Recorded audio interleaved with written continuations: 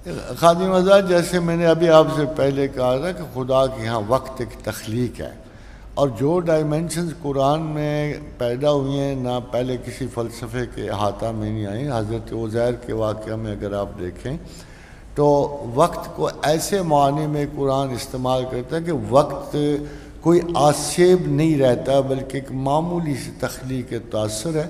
मगर सबसे बढ़ के, जैसे इकबाल ने कोट किया था अपने लेक्चर में कि ला तसुब दहरा आना दहर, कि वक्त बुरा को बुरा मत को वक्त मैं हूँ।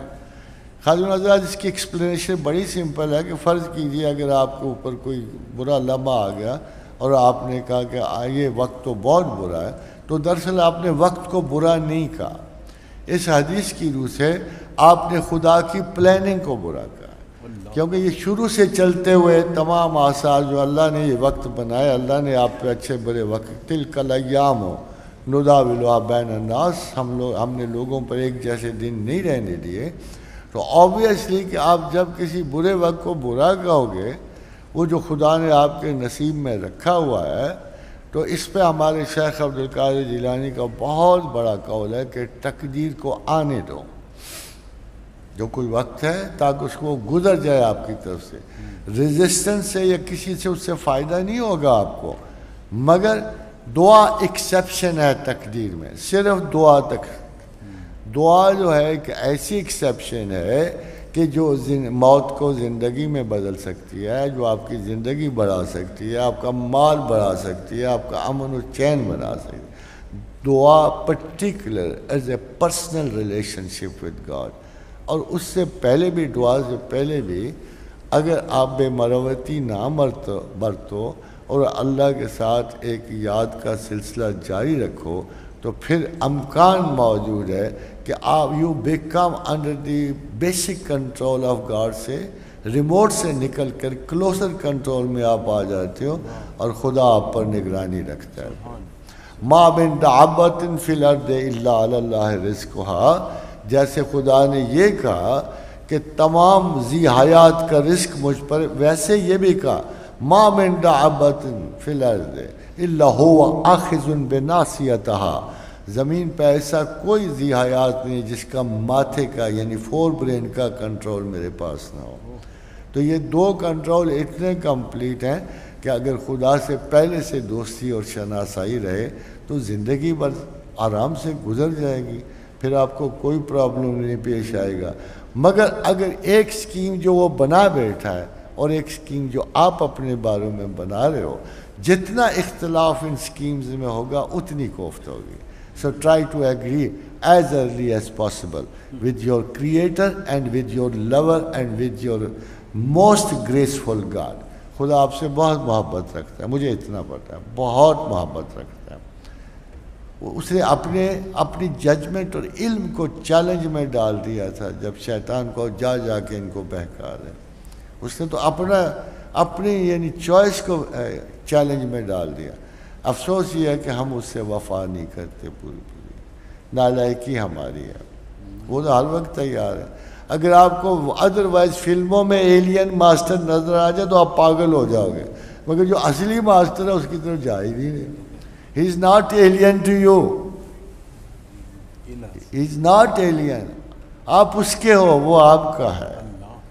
इसलिए खुदा से एहतराज ना बरत इसलिए तो इकबाल ने कहा था बिठा के अर्श पर रखा है तूने आवाज़। बिठा के अर्श पर रखा है तूने आवाज़। खुदाई क्या है जो बंदों से एहतराज करे? हे के साथ खुदाई क्या है जो बंदों से एहतराज करे? खुदा बंदों से भागता नहीं है, पीछे नहीं हटता। आप पीछे हटते हो। आप, आपका खलूस अधूरा है। आपकी तमन्नाएँ जो है ना, बस लम्हाती हैं।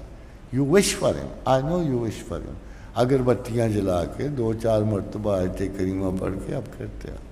You are not very sincere about it remind yourself कि ये आप किसी के वाकई सुबह दोपहर शाम के बंदे हो। एक वक्त नहीं चुनते, एक घंटा नहीं चुनते, एक पल नहीं चुनते उसकी ग़ुलामी के लिए। यू आर क्रिएट बड़ा फ़र्क होता है ग़ुलाम में और बंदगी में। मकाम बंदगी देकर न लूँ शान खुदा बंदी बड़े नाज होते हैं बंदगी के। आप उन नाजों तक पहुँचते ही नहीं हो। बच्चों के नाज बाप के साथ नहीं होते। कितने कितने लाड आप अपने बच्चों के बता और जो बच्चों से भी ज़्यादा अज़ीज़ तर वो नहीं लाड कर सकता। मगर आप अपना कोई हक भी तो रखो ना। कहता मुझे ऐसे मानो कि मुझमें कोई शरीक मैं honestly telling you my whole study of the Quran and the prophet and God is simple मैं समझता हूँ कि खुदा को ला शरीक इबादत करना और मोहम्मद रसोल्ला से ला शरीक मोहब्बत रखना बस यही ईमान है I see nothing else nothing else कि अल्लाह के रसूल से ऐसी मोहब्बत करो जैसे ज़मीन पर किसी से ना हो। और खुदा की ऐसी इबादत करो, ऐसी ज़मीन व आसमान में किसी की ना। सिबगत वमन आसन मिन अल्लाह सिबगत वनहन लहू आबिदून। इबादत करने वाले किसी और मिजाज के मालिक होते हैं। अल्लाह का रंग, और अल्लाह के रंग से कौन सा रंग बेहतर है? इबादत करने वाले तो अपने आप को हर मुमकिन हद तक उसके रंग में रंगने के शौक़ रखते हैं। अगर है तो चले जाओ। नहीं तो सबसे आसान तरीका ना उसको तंग करो, ना अपने आप को एथीस्ट होकर वक्त गुजारो, मर जाओ और खाक में मिल जाओ, अल्लाह उसको आपसे ये कोई नहीं है। चाहे अकल दे के वो फारिग हो चुका। बड़ी मोहब्बत कर बैठा आपको अकल दे के। इन नाउकाना जलूमन जहूला। पता है आपको? वो तो कहता ये है तो मैं दे बैठा हूँ, तुम गलत समझते हो उसको। जालिम तुम हो, जाहिल तुम हो, सच को तुम नहीं पहचानते। तुम्हें नहीं समझ आई उस वक्त कि जब मैं अकल दे रहा था, तुमने एहतजाज क्यों ना किया? क्या देते ना? और ज़मीन व आसमान की तरह कि हम बग़ैर किसी इनाम के भी अतात कबूल करते हैं।